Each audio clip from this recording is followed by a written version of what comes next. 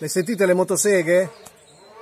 Stanno tagliando il bosco Chianca, siamo ad Altavilla Sentina al ridosso del Parco del Cilento e qui sta, ci sono già dei manifestanti che hanno messo un, un volantino per un manifestino per le loro proteste e ci sono degli operai, siamo a domenica mattina 22 ottobre 2023, anche se l'Associazione Nazionale Gufi e eh, l'Avvocato Barbirotti dei Verdi sostengono che non vi sono eh, documentazioni sufficienti per fare il taglio, comunque l'impresa continua ad andare avanti nel taglio e non ci sembra che nessuno intervenga. Cresce lo scontro ad Altavilla Silentina tra cittadini, attivisti ambientali e comune.